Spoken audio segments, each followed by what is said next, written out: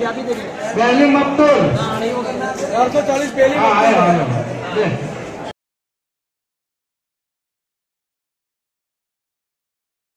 کی محنت اور جس کی لگن سے یہ جلسہ ہو رہا ہے اور جس کی وجہ سے ہم آج سب لوگ یہاں جمع ہوئے ہیں وہ حضرت حبیب الرحمان صاحب ان کے ساتھ میں جو ہے غلام سید اشرفی صاحب حضرت مولانا محمود صاحب یہاں ہمارے گاؤں کے مقامی یاسین بھائی مشتاق بھائی جن کی کوشش، جن کا چلنا اور پھرنا، جن کا جینا اور مرنا، جن کی صبح اور شام دو پہر کی چلچلاتی دھوپ، سکون کو قربان کرنے کا کوئی اور مقصد نہیں ہے۔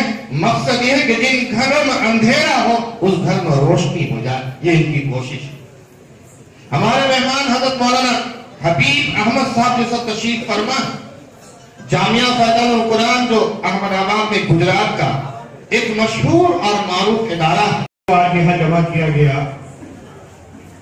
ہمارے یاسین بھائی بشیر بھائی مشتاق بھائی اور اقبال بھائی اور دوسرے جتنے بھی ذمہ داران ہیں۔ اسی اختلاف کو ختم کرنے کے لیے ہم لوگوں نے مل کر یہ فیصلہ کیا کہ بھئی جو جس سے نکاح پڑھنا چاہے اس سے پڑھ لیں۔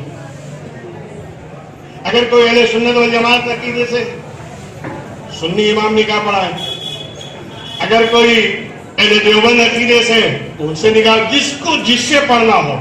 ہمیں تو ملک کے سیاسی اور حالات اور اس تناظر کو دیکھتے ہوئے ہم نے ایکتا بنائی ہے کہ اختلاف ہمارے اندر عقیدے کا ہے تو ہے۔ مگر جب اسلام اور دین کی بات آئے گی تو ہم سب ایک ہو کر کھڑے ہونے والے لوگ ہیں۔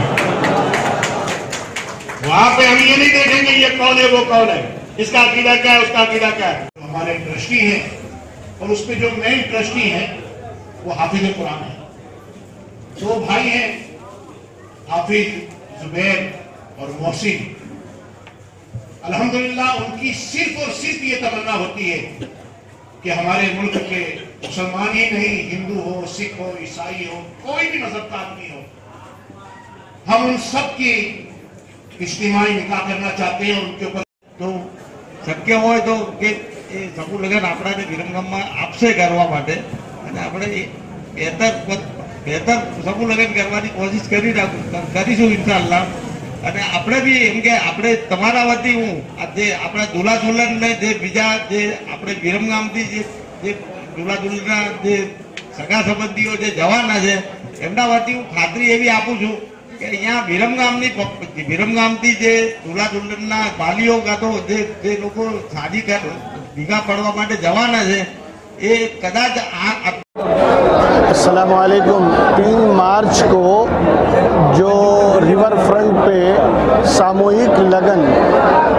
اجتماعی نکاح ہونے جا رہا ہے، جس میں پانچ سو ایک نکاح وہاں ادا پڑھایا جائے گا، جس میں ایک سو چھتیس نکاح ویرم گام اور اس کے اطراف کے لوگوں، لوگ اس میں شرکت کر رہے ہیں۔ سبھی فرقے کے لوگ اس میں رہیں گے۔ تین مارچ کو ریور فرنٹ پہ پانچ سو ایک نکاح، سموہ لگن اجتماعی نکاح ہو رہا ہے، جس میں صرف ورمگاؤں اور اطراف کے تقریباً ایک سو چھتیس نئے جوڑے جن کا نکاح ہوگا۔ سموہ لگن ہے، جامعہ فیضان القرآن کے محتمم حضرت مولانا حبیب احمد صاحب کی نگرانی میں عیسیٰ فاؤنڈیشن کی جانب سے یہ پروگرام منعقد کیا جا رہا ہے۔ تین مارچ کو شام چار بجے سے لے کر رات دس بجے تک ریور فرنٹ پر انشاءاللہ یہ نکاح کا پروگرام ہے۔ پانچ سو ایک نکاح۔ عیسیٰ فاؤنڈیشن، جامعہ فیضان القرآن، فیضان انگلش ہائی اسکول اور لوکھنڈ والا جنرل ہاسپٹل یہ تمام ٹرسٹ ایک ہی ہیں۔ ان کی جانب سے الحمدللہ یہ ہونے جا رہا ہے اور اس میں تمام علاقے کے اور تمام مکتب فکر کے علماء بھی ہوں گے اور تمام مکتب فکر کے جو عوام بھی ہوگی انشاءاللہ۔ اور اس میں تمام بچیوں کو اور بچوں کو جو ہے جہیز بھی عیسیٰ فاؤنڈیشن جامعہ فیضان القرآن کی تعریف سے دیا جائے گا انشاءاللہ۔